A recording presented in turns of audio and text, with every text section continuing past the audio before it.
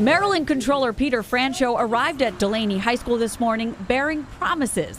I can pretty much guarantee you that uh, Dulaney is going to get a new replacement, state of the art, modern high school.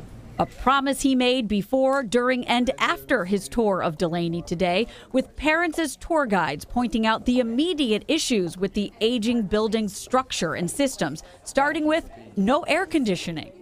Can you see me sweating? That's some of it. Um, obviously, the inequity that's in this building as far as the classrooms that are antiquated and dangerous. There's also a crumbling foundation, brown drinking water, busted floors, burst pipes. Our electrical panel is an original to the building from 1954. We have a crumbling porous wall that floods. We've been in school for three weeks. We've had two flooded classrooms. Parents don't want a renovation, they want a replacement. In a recent vote, the Baltimore County School Board agreed. And today, the guy who balances Maryland's checkbook vowed to do whatever it takes to make that happen.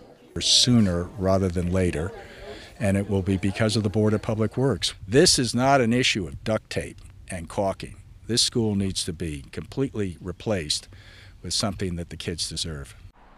And you can watch that process play out in person. The State Board of Public Works on October 18th will be holding a complete review, Mr. Franchot told us, of every jurisdiction's school construction budget. Reporting live in Timonium tonight, I'm Kate Amara, WBAL TV 11 News.